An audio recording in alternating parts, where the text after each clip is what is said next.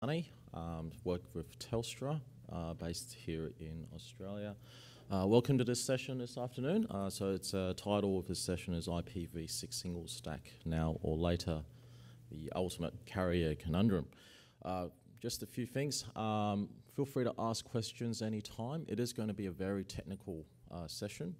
Um, so there are a lot of technical terms in this presentation. Um, if you have any questions, please ask. And uh, phones to silent if you can. Um, and uh, just a quick question uh, as well who actually are carriers in this room at the moment? Great, okay, no problems. The theory applies to anyone really, so that's no problems. okay. Uh, a little bit about myself. I work uh, in Telstra. I've been working in Telstra for about nine years now. Uh, I do a lot of the network architecture design for the wireless environment, IP routing, switching, and recently technical lead for wireless for IPv6 deployment as well. Um, Telstra's, uh, just a little bit of background of my, uh, my company, uh, Telstra is Australia's leading telecommunications uh, company and uh, we offer a full range of communication services, fixed, wireless, uh, government, enterprises, in all markets. And we've got about 16 million customers, 7.5 million fixed voice services and 3 million retail data services as well.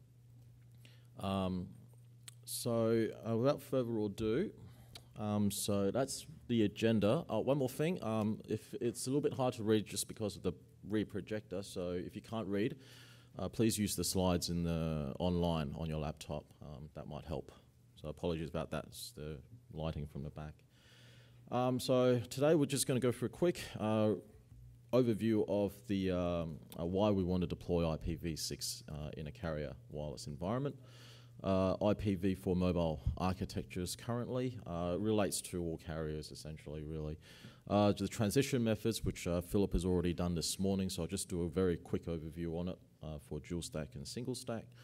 Um, and then we'll talk about the issues surrounding the both of them and some solutions um, that you might want to consider. Okay, so uh, just a word of warning that there's um, it's not going to be a full technical session on 464X LAT. For that, I uh, recommend you to go online to the uh, APNIC37 website and download the slides from there from Cameron Byrne.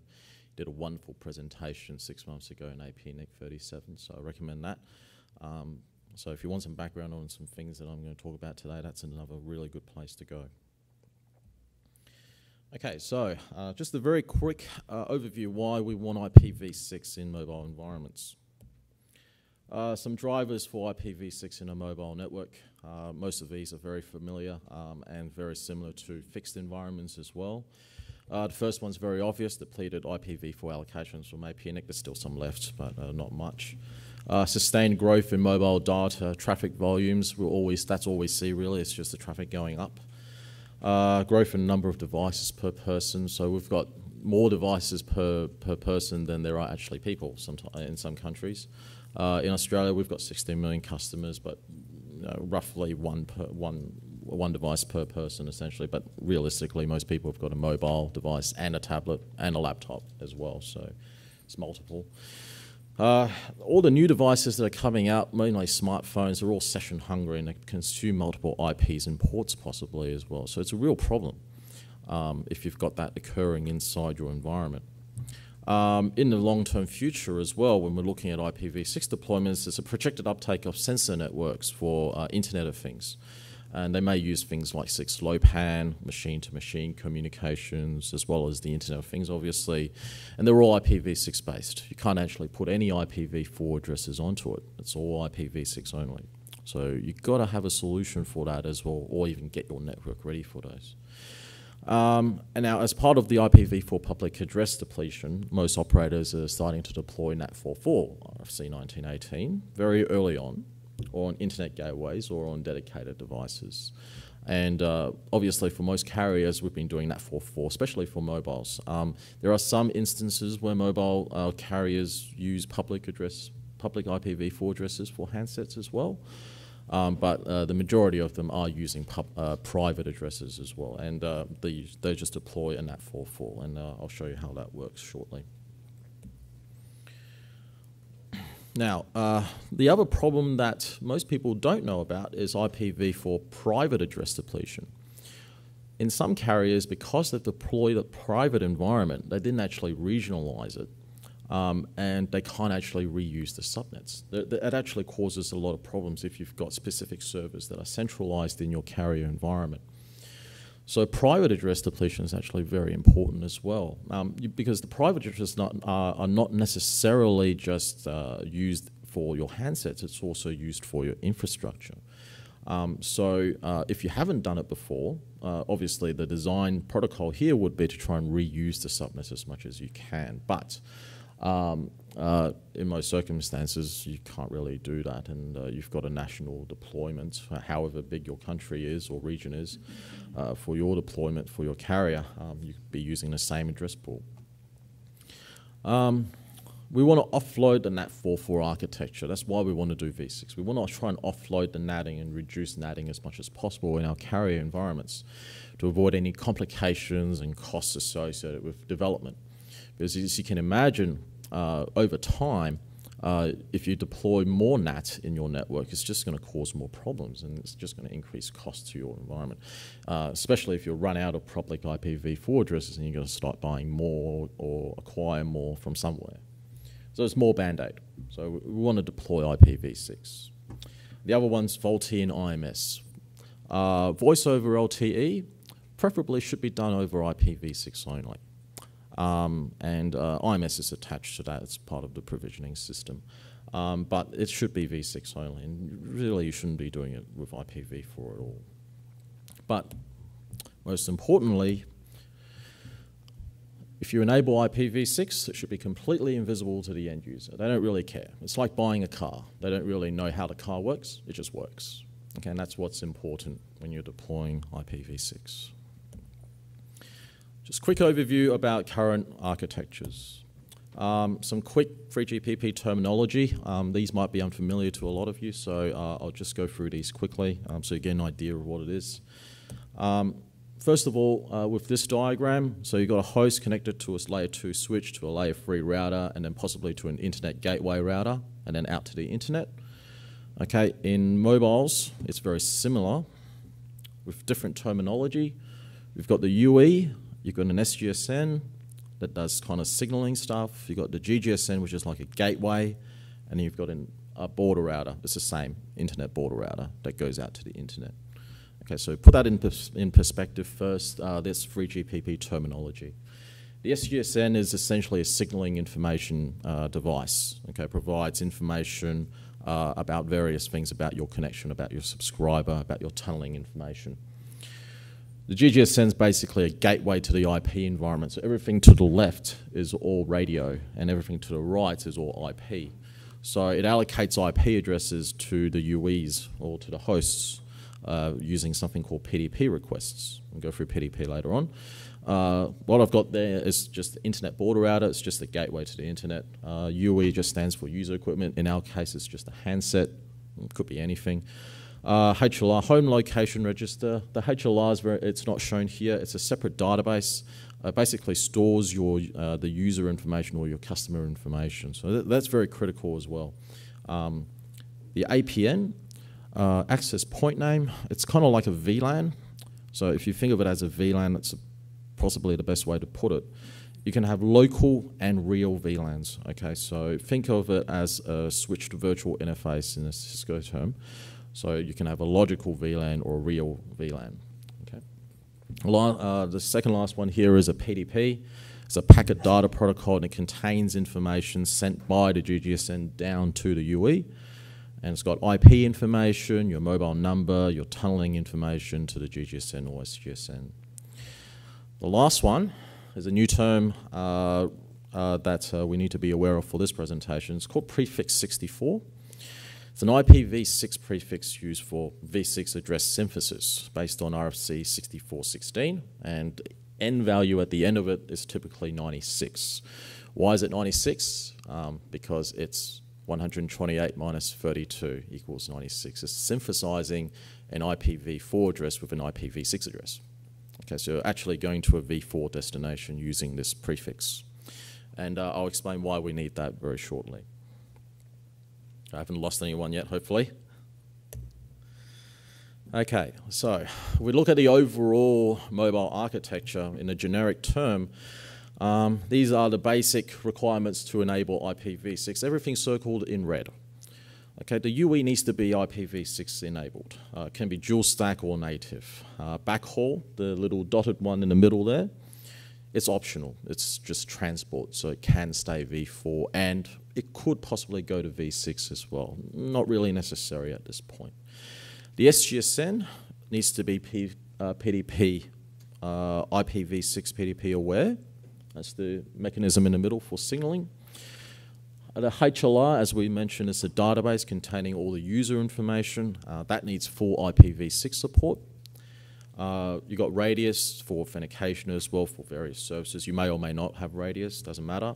If you do, it needs v6 support as well. DNS obviously needs full v6 support. Uh, and when I say full, D, full IPv6 support, I mean not just it needs to be v6 aware, it needs to actually have interfaces that have IPv6 addresses as well. The GGSN has full, uh, requires full IPv6 support as well. It's a connection between a radio and the internet. Needs to have IPv6 addresses. Uh, and then you might have an MPLS core. In most carriers, you have an MPLS core uh, to go around a nation, faster switching, sitting somewhere in the network, not possibly not to the internet, um, somewhere in the network. Um, and that needs 6PE or 6VPE protocols. And depending on how you've uh, deployed your environment, you may or may not already have a large-scale NAT system or NAT44 and possibly NAT64 as well. We'll look into that. So if you have uh, are using private IPv4 addresses today, and you do have a NAT44 translation, um, then this is probably what your network looks like. So you've got your radio environment interacting between your UE to your gateway, and then you've got your carrier network that could be running MPLS, and then you've got your internet gateway router heading out to the internet. Your NAT is probably placed right at the edge, closest to the internet, because you're translating private v4 to public v4. Okay. Um, and yep, just some information on the bottom there, probably using RFC 1918 and allocating private addresses over to your handsets. The CGN then performs a NAT44 translation for you. Okay, and depending on how many users as is on your environment, um, the, the, the ratio could be different. Uh, you could do normal NAT one-to-one -one translations or use PAT. Um, Pat, uh, Geoff Huston has a wonderful slide pack from six months ago in APNIC 37 talking about the nasties about doing NAT as well. So I recommend you have a look at that too. Um, but uh, in a carrier environment, you may not have a choice. You have to use PAT. Okay, so it's an option. Um, but it doesn't prevent IPv4 address depletion. That is essentially the conclusion with using NAT. Um, go to the next slide here. So after talking about all of that, um, Phil's done a wonderful presentation this morning about transition methods, so this is just a quick recap of it. Um, there are three terms as well that we need to be aware of with these terminology, uh, with these transition methods. That's already been discussed, but I'll just repeat them here. NAT64 is a stateful translation. It's for v6 addresses into to contact IPv4 servers based on RFC 6146. Uh, DNS64 is a mechanism for synthesizing quad A's from A records. So if your destination is V4 only, you need to get, get the information back to a V6 source, you need to synthesize it into a quad A. Okay, and it's usually used with a translator like a NAT64 uh, to communicate between a V6 client and a V4 server. Okay, so NAT64, DNS64 kind of operates with each other. The last one's 464xlat, so I was mentioning that before. So those are two, uh, two links for you that you can go to yourself to have a read about what it exactly it is. But essentially, it's stateless translation on the UE, on the handset. It provides limited IPv4 connectivity across an IPv6 environment, and it kind of combines 6146 and 6145 together. So stateless protocol translation um, and a little bit of NAT64 uh, in reverse inside the handset. And what that means is you just do a translation. You don't need to encapsulate. There's no tunneling whatsoever. It's very, very simple, and it, it's very local. It's just on the UE itself. Okay, all that being said, there's really two transition methods. There's a lot, but for carriers, most carriers, there's really only two. The first one's dual stack. If you want to enable dual stack, um, really you don't need a NAT translation for going to v4 destinations because, well, your handset is already dual stack. It's got IPv4 addresses, it's got IPv6 addresses. So you don't need a translation. You don't need 464xlat either. You don't need that mechanism inside the device. So what do you do? You can run a single uh, PDP context that has dual stack, which then allocates a v4 and an IPv6 address to your device. And what that does is it lets you reduce your licensing costs if you want to do dual stack over one bearer. Okay, because uh, in in carriers, wireless carriers, a lot of the costs is uh, how many bearers do you actually use to actually get information to your handset. So you can use a single PDP to give that information. Obviously, your core environment. Okay, your core environment here is dual stack. Um, so it supports both IPv4 and IPv6. Um, your radio network can be v4 only. It's just transport, don't really need to do anything else. Um, and what this enables you to do is let you introduce IPv6 to a lot of customers very, very quickly with minimal risk. Okay, because there's a lot of content that are still IPv4 only today. And because your customer has a device that supports v4 and v6 simultaneously, well, they can use either one. Doesn't matter. And most existing applications are actually working perfectly fine with this kind of setup. So let's look at the second method, single stack. So how does this work? Um, slightly differently. The core is the same. It's dual stack. It still supports IPv4 and IPv6. The radio environment is still v4. No changes there. The big difference is you need to put a NAT64 translator on the gateway. Okay, it's the same as today, except it's six to four instead of four uh, pub, uh, private v4 to public v4. It's just v6 to v4. But slight difference: IPv6 is public. Okay, there's an opportunity for you to allocate public addresses to your UEs, to your customers for the first time. Um, now, there are also other discussions about using link local or link uh, uh, ULA addresses as well for the UEs. That's a different discussion, but there's a possibility. Okay, you can translate any anything really to a public v4 using NAT64. Um, now, if you use this, obviously you need to point to it to do the translations. How does it actually know that it needs to do a NAT translation? Okay, it, you need something like a DNS64 in order to point it to the NAT translator. So a DNS64 has to be in the path. Um, well, not really true. Okay, and I'll talk about that later on. But in this case, it must be in a path for single stack v6 to function to v4 websites. You've got to point it to the NAT translator. And 464xlat in the device doesn't actually activate unless there is an IPv4 literal or non-protocol uh, agnostic application, something that un doesn't understand IPv6 at all in the handset. So it doesn't actually activate at all. Okay, if you, need, if you have something that actually needs it, then you need a DNS uh, translator. Now, uh, that being said, if you're using single stack, then the UE really should have 464xlat because there are a lot of IPv4 applications out there um, that really doesn't do any IPv6 whatsoever and just doesn't understand it. And there's too many. Um, so really, you want all UEs to support 464xlat. Okay. What exactly is 464xlat? How does it work in relation to this? So if we look at it, statistically, 50% of your traffic is going to be v V6 only when you enable it. Okay, these, these are sites like Facebook, Akamai, YouTube, etc. Okay, could be higher than that even. Okay, and these sites are already IPv6 enabled today. So the moment you turn it on, uh, it's expected that your users can reach these destinations using IPv6 immediately. 49%, in this example anyway, will go to IPv4 and they will need a translation. Okay. Now the remaining 1% are your funky applications that are programmed with v4 literals. So v4 literals is just an IP address. There's no URLs. There's no need for a DNS translator. And because the DNS and NAT64 relies on DNS, it doesn't work. So that's the last 1%, I think, um, of traffic that needs 464xlat because it's a stateless translation on the UE itself. Okay.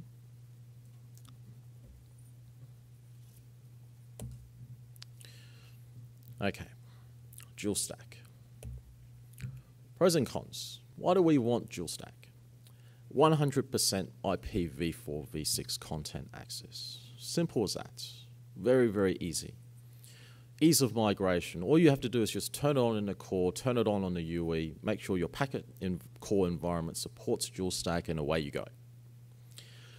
It may actually be cheaper for your organization to quickly get users onto IPv6 using dual stack. Okay, because handsets are available today. Routers and switches support dual stack today and you just have to turn it on and uh, do the correct uh, design as per Philip Smith's uh, tutorial earlier today. Um, do your planning, do your address allocations, and start deploying it in your network. Once you've deployed it in your network, then deploy it to your customers. Users will get native IPv6 straight away to your most popular sites. Okay, and we saw these earlier. Fif at least 50%, at least. Facebook, Akamai, YouTube. Okay, they will all get uh, IPv6 native access. So immediately that relieves your network from doing NAT translations that we all don't like. And uh, that just reduces cost and operational expenditure for your organization. And it provides production IPv6 experience uh, with your customers while having the reliability and uh, completeness of IPv4 implementations available during v6 introduction. What that means is your customers will use IPv6, they won't see it, and uh, they have an ability to fall back to IPv4 automatically without much changes to your network or their settings. Okay, so a lot of pros for doing dual stack, but most important but doesn't solve your IPv4 depletion problem. So remember, UEs typically are allocated a private IPv4. In some countries, they allocate a public IPv4. So dual stack deployment, although solves a lot of quick issues, doesn't solve your long-term problem. Your long-term problem being we're out of IPv4 addresses because you're still allocating an IPv4 address whether it's public or private address, you're still allocating a v4 address to your customer. The next con is if you don't have a strategy to go to single stack, what happens when you have to introduce it in the future? If you don't have a translation mechanism like NAT64 inside your strategy for your network, what is your end strategy for native v6? Are you going to do dual stack with no strategy to go to v single stack? If you do that, there's going to be a lot of problems that you'll have to face that is different to what you have today with v4 only. And it's just going to end you costing, uh, end up costing more money for your organization in the long term to introduce single stack in a dual stack environment. You might be asking yourself, why is that? And I'll go into that very shortly. Gets worse. Authentication and other services might be inadvertently impacted by having two addresses on the UE issued to the same user. How do you identify them? Troubleshooting for users become very hard. You're dealing with two protocols now, not one. How do you deal with that? How do you introduce a single stack service into a dual stack environment without affecting existing users? You could inadvertently translate them unnecessarily. Okay, so I'll just put that into context first. So you deploy dual stack with no translator, and then you put a translator in, and then all of a sudden your users could inadvertently get translated. So service might, might get interrupted or stopped. How do you deal with that? If UEs are configured with dual stack, v4, v6, and a single APN, single VLAN, and the equipment is sold to the customer, how do you change them to single stack afterwards? Without any user intervention, without significant changes to your network environment, and without affecting any existing customers on the same APN. It's also a very big problem in that there are some countries that have carriers that have uh, older equipment inside their environment today. And there are going to be issues with international roaming. And 3GPP is just the mobile standard um, for mobile environments. And any environment that is built with equipment that is pre-release 8, 3GPP release 8, if you're configuring your users with dual stack, your customers will be black holed automatically if they roam. Because pre-release 8 networks don't understand dual stack at all.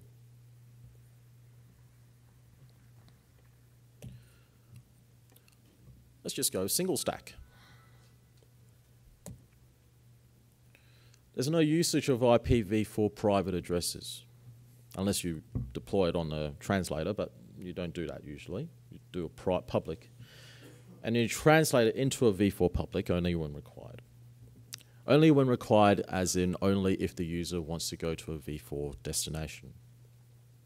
Most traffic, native v6 traffic, will simply go to the major sites without any translation whatsoever and you simplify the traffic flow.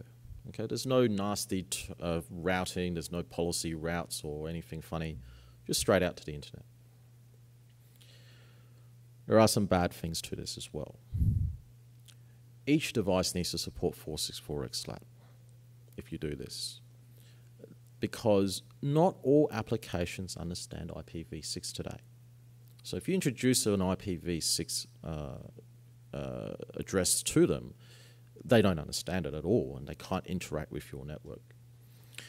And the issues are, again, surrounding literals and domain names, and they're not all resolved with DNS64 either. So it's not a perfect world. It's a more complex migration strategy, and there's no guarantees that everything that will, will work day one you turn it on. There are operators around the world that have done this, and there are issues more complex, it's a more complex network architecture with NAT64. Okay, so it's not simple. It's not simple. You don't just turn on single stack. You've got to do a translator to support your existing customers wanting to get to v4 only destinations. So you've got to put in a translator for them to actually reach those destinations. Here's the tricky one. May or may not know, but NAT44, when you do a translation, you need to actually have an ALG. Okay, an ALG is an application layer gateway. So things that might need it uh, SIP, FTP, um, H323. Um, all of those things, they actually need some sort of application on the translator to translate uh, uh, private v4 to public v4. In NAT64, it's exactly the same case. You need ALGs, and not all vendors are the same. They're not all equal. Excuse me one second.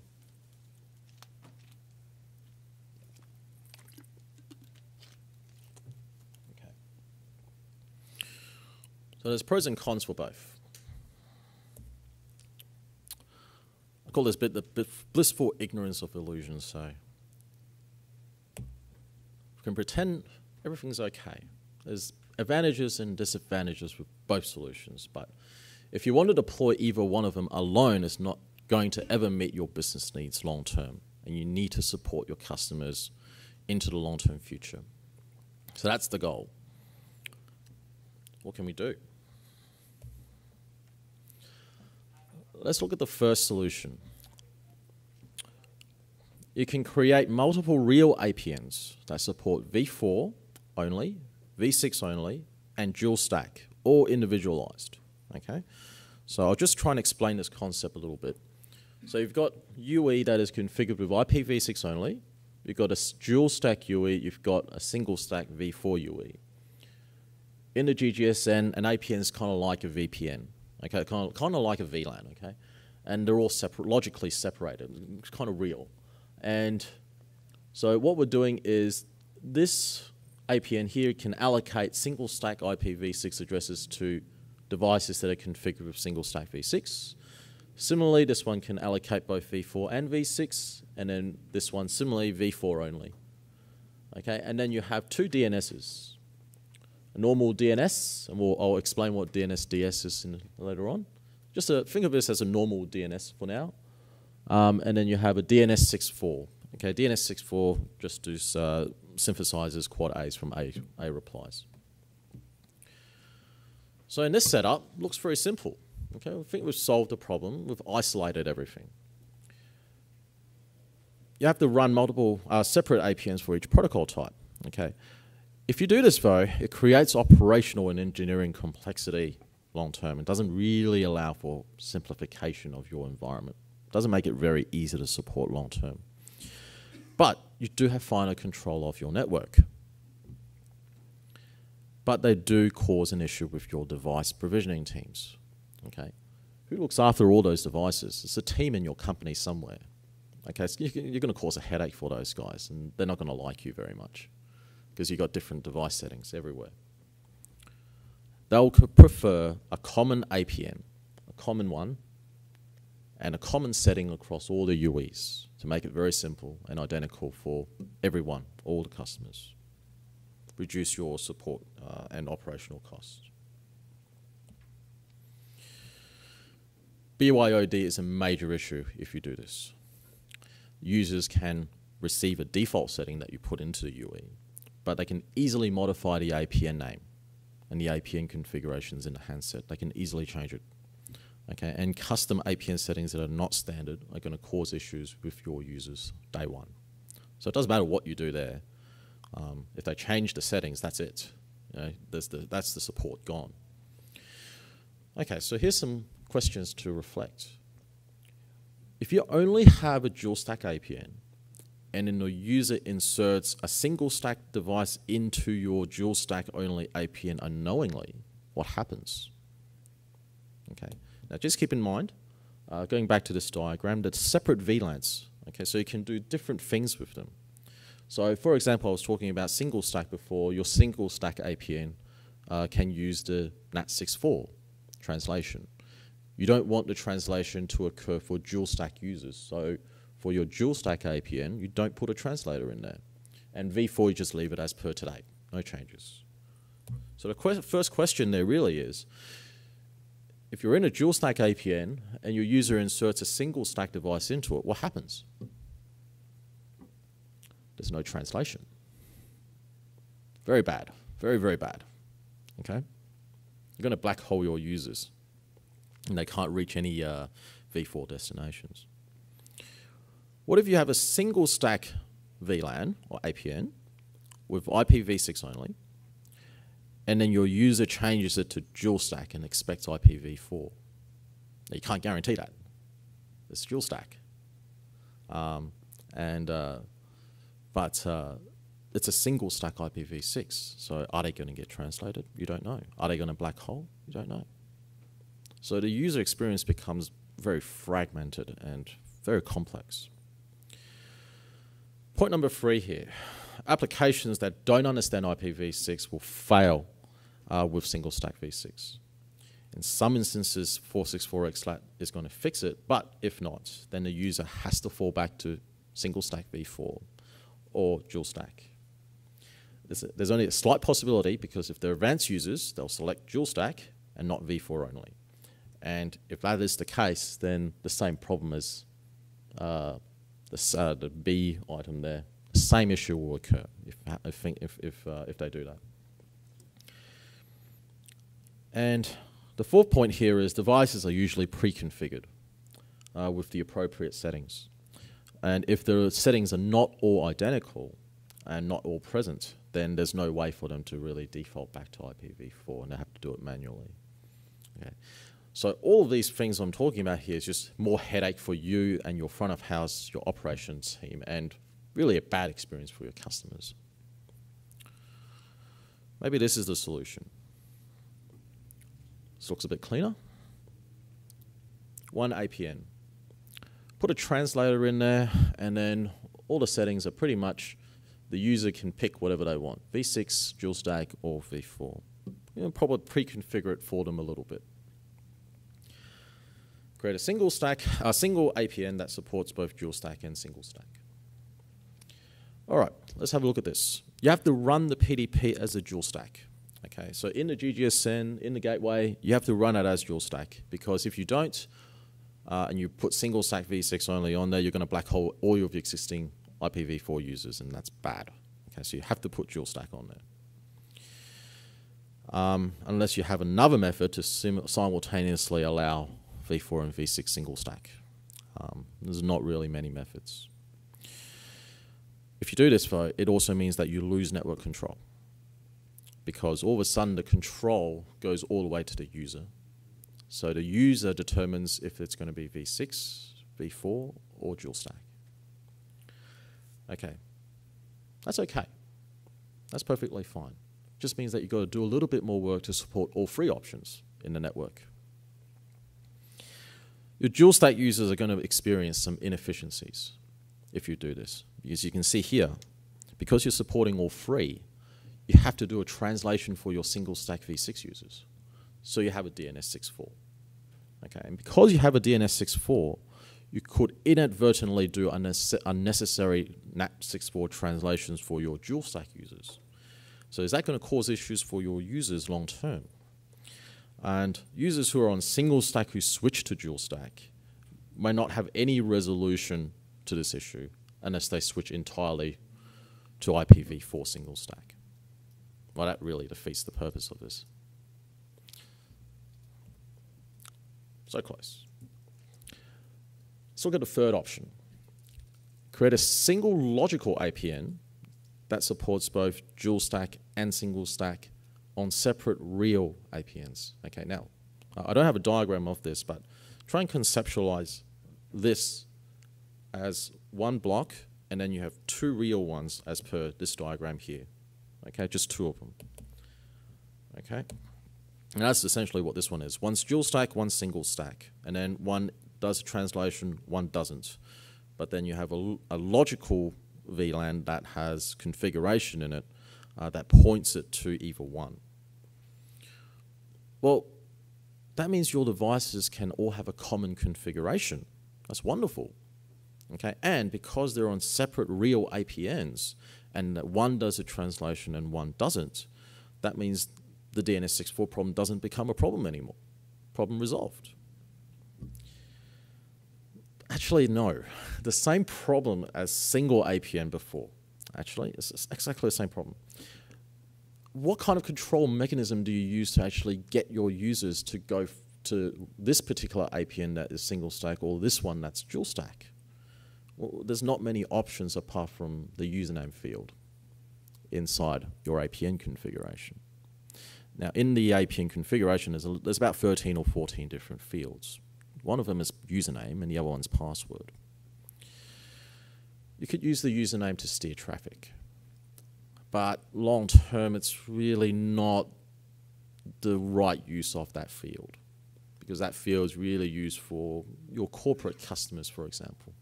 So what if you have to change the configuration for a corporate customer? If you've got a username field that is locked in order for you to do this uh, steering of your uh, traffic. And then you have this problem of a whole deployment of handsets that has this username field filled in for a purpose that it, that field wasn't really designed for. You could use it, but it's not really designed for it. Now, that last one's the biggest problem. Your BYOD users, they need to know the APN settings. If they don't know the username configuration that you have on there to steer the traffic to dual stack or single stack, they will inadvertently configure it incorrectly and then attach to the wrong APN and may inadvertently not get translated for the traffic or get translated inadvertently. So big problem for your BYOD users. Nah, not really. Nah, not really. There's one more. Maybe this is the best option. Create a single real APN that supports both dual stack and single stack and then use a False IPv6 DNS resolver. Is an RFC. Uh, I'll bring the number up, uh, come up to ask me for it. Um, uh, but never really got ratified. But I looked at it and I went, hang on. What you can do is, in typical deployments, the DNS configuration or name server inside any elements, you can have two IPv4 name servers and two IPv6 name servers. So on the DNS, how about we just put an inbound filter, okay, that directs a DNS request to a particular logical partition in your DNS server. Okay, and based on these filtering rules down here. Okay, so the first rule I've got is the v4 logical partition is just normal IPv4 resolution and it just matches on destination. So if the destination is its own IPv4 interface on a DNS resolver, okay, we just match that. And then on the IPv6 partition, we enable it with DNS64. Okay, but for dual stack, it doesn't matter. Dual stack just uses the v4 partition. For v6, you need the translation, and it needs IPv6. Okay, so dual stack doesn't really need the v6 logical partition at all. And for the v6 partition, you enable DNS 6.4, and do a match destination to its own IPv6 interface. Okay, so, so essentially this is what it looks like. Okay, so for your DNS name server, let's say your server is uh, 1.2.3.4 and IPv4. So your name server just becomes that. Okay, it's a false IPv6 address. And then your IPv6 name server, actual IPv6 name server with the translator, is just a normal IPv6 address. Okay. So in your GGSN, in your gateway, when it sends the PDP context to the handset, it also allocates the DNS name resolver addresses. Okay. So what I'm saying here is, for your IPv4 DNS name servers, just keep it the same. For dual stack, you'll use it, no issues.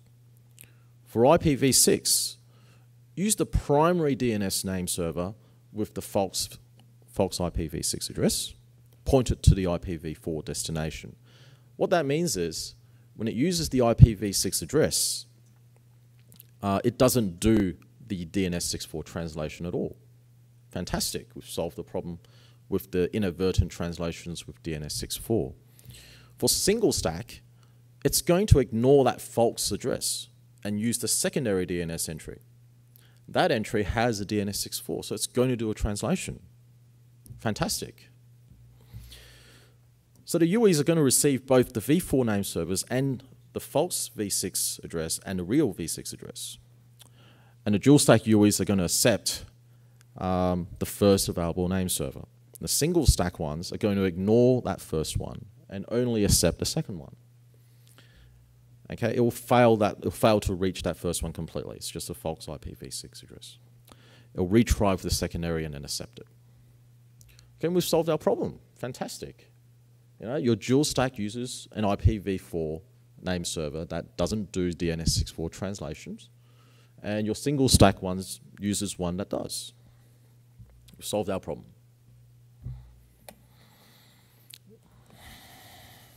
It isn't. Not even remotely close. Not even remotely close. What if your v6 primary server fails? If it fails, that means your dual stack users inadvertently go to your secondary DNS, and that one actually has a translator on it. So, no. What if your v6 secondary name server fails? Your dual stack users are fine. But then your single stack users are all of a sudden black holed because they ignore the first IPv6 uh, name server address that's a false IPv6 address. So they're black holed. Sounds great you know, we're completely stuck. There's, there's no solution to this, really. There's three carriers in the world that's deployed IPv6 into their production wireless environments today. Okay, I'm not, I'm not going to put their names up. But these are the different settings that they've done. First one's just plain dual stack. Very simple. I don't know about their long-term strategy. The second one is using a combination of single stack, NAT64, DNS64, and CLAT, 464X LAT. Okay, we discussed that earlier. Third one is using single stack and dual stack for their UEs, and that's 6.4, DNSDS, and 464 XLAT. Okay? Everyone has a different set of circumstances that dictate what the transition method should be. There's no standard way of doing this. You can see here, there's three different methods. You have to determine which one's best for your network, depending on what your requirements are.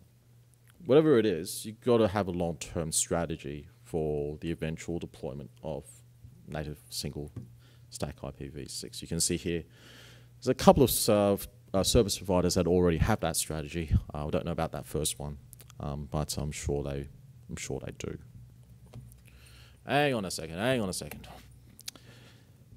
This NAT64 plus DNSDS. What exactly is this? Okay. DNSDS is just basically short for DNS dual stack. It's, it's just a normal DNS, really. There's nothing too different about it. Apart from that we use RFC 7050. So what this is, is creating a single real APN that supports both dual stack and single stack and a combination of RFC 7050. I'll explain that a little bit.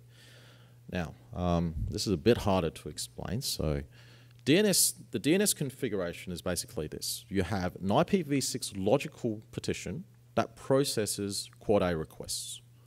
And it processes it normally. You don't actually enable DNS64 in it. And then you add a matched destination as its own v6 internet uh, interface address. So same as before, v6 match to its own destination. You bind to the well-known names of ipv4.google.com and ipv4only.arpa, and then point to your own authoritative name server, your own ANS. And then inside your ANS, manually map the IPv4 translated address to a quad A entry, and then put into a prefix 64 address. Okay, so we mentioned prefix 64 all the way at the start of this presentation. So really the prefix 64 is just any prefix that you determine, you predetermine. It's fixed for you only. It's a slash 96 usually, and it's put into your ANS for these translated addresses. In the DNS response to UE, the UE then uses this prefix 64 address to, uh, to locally synthesize um, an address for DNS uh, trans, uh, for NAT64 translation. So essentially, it's a synthetic DNS64 that's done on the device itself. Okay. So what does that really mean? You're not really doing a DNS64 inside your DNS anymore.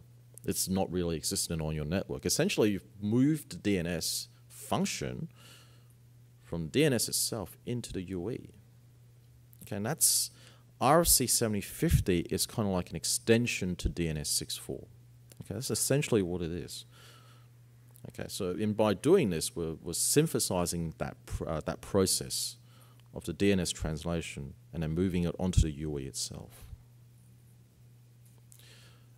Your gateway configuration changes a little bit as well. Now, the advantage here is that there's no mods you can use your normal IPv4 and IPv6 DNS name servers using real IPs. There's no false addresses or anything like that. Just use your normal IPs. So you still have a primary and secondary for backup for redundancy. In, the, in this particular configuration, the UE is going to receive both of them uh, for all four name servers, or the two v4 ones and two v6 ones, and your redundancy is maintained. Uh, but it does mean the UE needs to support RFC 7050 as well as 6877. Uh, 6877 is 464 XLAT. So really this final configuration, which should work, is this down here. So your UEs can be single stack or dual stack. Your network is configured with NAT64. You can have a DNS DS with the specific DNS configuration that we've mentioned and you have 464 XLAT on your device as well, uh, as well as a bit of RFC 7050. Now, RFC 7050 is actually implemented ever so slightly inside RFC 6877 because uh, 464 XLAT relies on this lookup on these uh, IPv4 well-known uh, well-known name servers.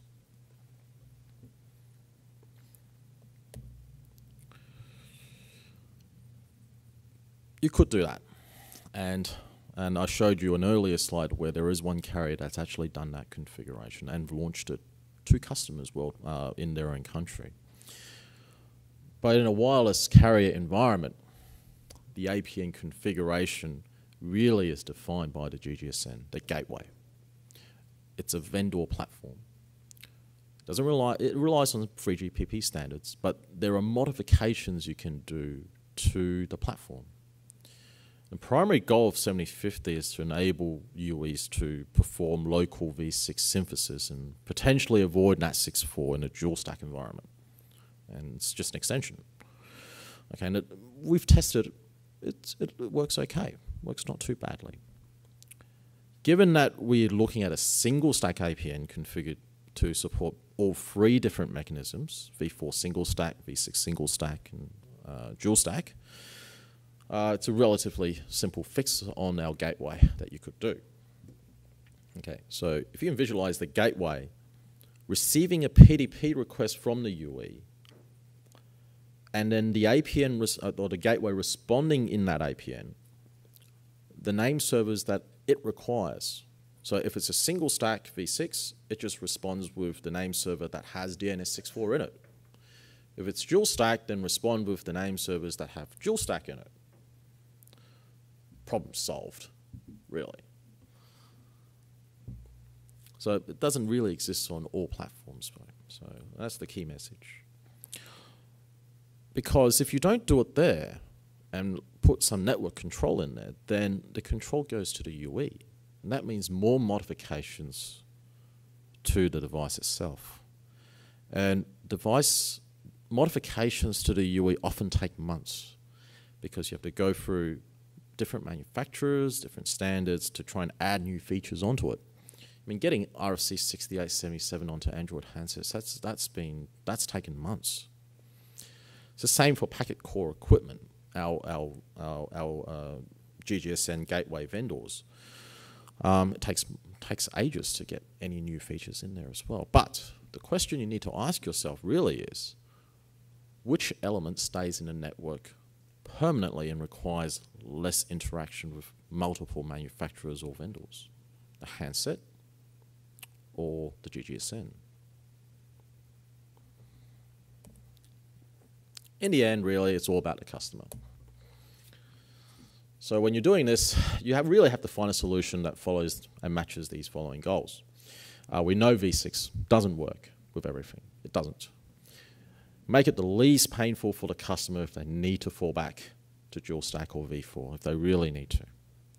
And we do know that there are issues with it. So in some circumstances, they absolutely have to fall back. Make the solution work for long-term goals of a business. Okay, so a path to native v6, removing the need to do private v4 addressing. I mean, public v4 is already, is still needed. It'll, the requirement of it is slowly going to reduce over time, obviously. Need to ensure your vendors understand the importance of those RFCs I mentioned, 6877 and 7050, and IPv6 in general for their software and application development, i.e. make it protocol agnostic, you know, understand v6, don't do v4 only. It's critical for the transition phase uh, to v6 native. You absolutely have to do it. Um, and obviously it goes for servers on the other side as well. So it's not just the clients, it's also the servers and then ensure the customers are well informed. This is very important as a carrier. Uh, we need to make sure that our customers are informed and have avenues to find the answers to your network changes very easily during this transition period. The worst situation that you can possibly face as a carrier is to have to default everyone back to IPv4 because someone, something is broken. And we don't want that to happen. Just one more thing here. International roaming. It works. So we've tested this, this works. We actually need more carriers to support IPv6 and support 3GPP release 9. Okay, v4 v6 isn't really recognized by older SGSNs pre-release 8, um, so customer connections will fail with dual stack as I mentioned before. So really for the next two years, our recommendation to all carriers is default back to v4 for at least the next two years, unless you're running VoLTE. VoLTE is a different story, uh, voice over LTE, until the situation improves in the global carrier industry. But what's on the screen here is proving that V6 international roaming works today. So I've got a Telstra LTE SIM card uh, in, this, uh, in this example. you can see here the APN roaming protocol here. Um, if you don't, uh, it's on the slides on the computer. This first circle here is APN protocol. What this one here is just a local one. So what APN uh, protocol you want to set to for your local uh, uh, network. If you go overseas, which protocol do you use? Is the APN roaming protocol. So what we're saying is set that to four for now. But uh, in this example, we've set it to six, single stack. Works perfectly fine. What it does is it sends the information back to the home GGSN uh, through the uh, through the GRX uh, network, through the private GRX network, um, and uh, it allocates an IPv6 address from your home environment, which is perfect.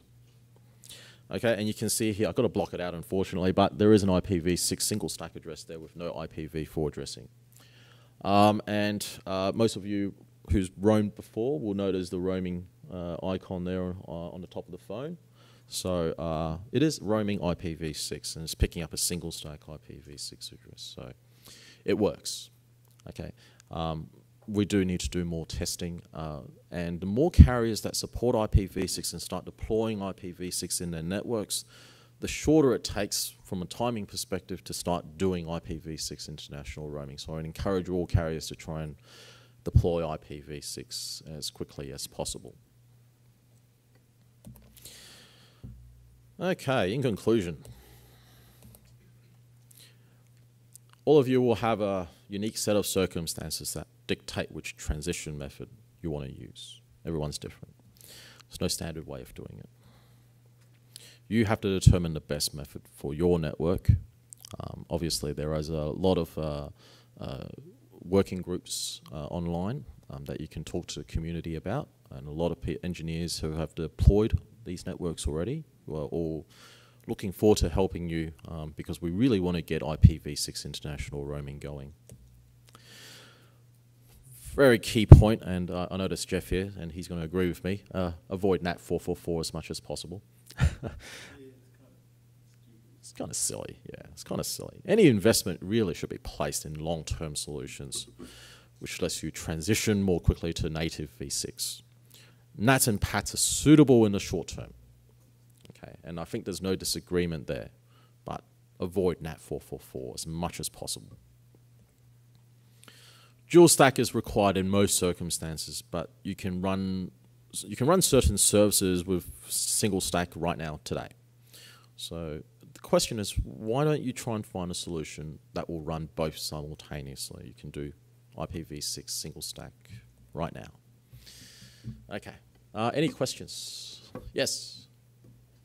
Yes. Right, so I might be misunderstanding slightly, but the, the single stack handsets, they wouldn't request an IPv4 address on their external Uh, the question is uh, whether or not the IPv6 single stack handsets will request an IPv4 address. The reason I'm, I'm curious is I wondered if you could use the absence of a D- DHCPv4 request to determine which of the real APNs you select. So uh, a dual stack handset requests V6 and V4 addresses, Yes, but if I'm understanding correctly, a single stack would only request uh, v6 only. Yep. And therefore, I think possibly you could use the or absence or presence of a DHCPv4 request to determine which, which might be better than your DHCP. It could be possible. Could be possible. Um, uh, some carriers use DHCP, some carriers don't. Um, so, yeah. just that the, the request would be an indication of what type of handset. Uh, there's, there's other carriers who, trying to answer your question differently, um, there's other carriers who use Radius to allocate the addresses rather than the GGSN.